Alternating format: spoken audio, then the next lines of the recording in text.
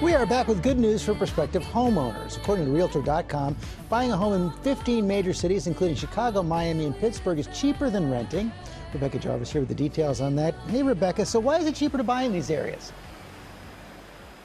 Well, what we've seen over these last 18 months, George, is this great reassessment. So many people have reconsidered where they live. That has led to rents going higher as many people have moved to new locations. In addition to that, mortgage rates have come down. And in the last couple of months, we're starting to see some new inventory come on the market. People were apprehensive about putting homes up for sale during the pandemic, but as restrictions have loosened, more homes are for sale now. And that has led to the price of homes, the value of homes, getting to be a little bit more reasonable for people who are seeking to buy, George. Yeah, but so what's the most important thing for people to think about before they decide to buy?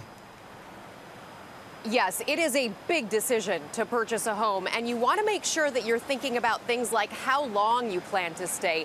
Experts believe that if you're planning to stay there for five years or longer, that's when buying starts to make sense. If you're thinking shorter term, renting still makes more sense, very likely, and you want to do the math on this. There are costs that come with home ownership. You have your down payment, your closing costs, the fees around your mortgage, things like that really come into play, and they can increase the cost to you pretty dramatically dramatically. And finally, you want to think about the risks. Is your job secure? Is it stable? Are you going to be able to maintain this home without putting a lot of money into it? Because if you are buying, you have to keep in mind, George, there are all of those upkeep costs that come into play. No question about that. And, and when people, there are a lot of resources out there for people weighing whether to rent or buy.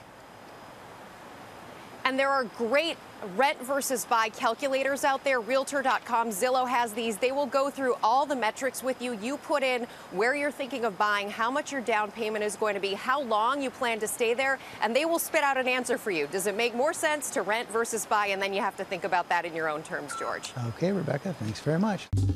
Well, hey there, GMA fans. Robin Roberts here. Thanks for checking out our YouTube channel. Lots of great stuff here. So go on, click the subscribe button right over right over here to get more of awesome videos and content from GMA every day, anytime.